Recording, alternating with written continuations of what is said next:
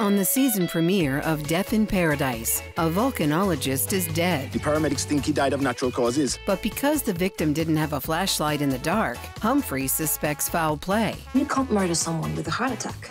Death in Paradise.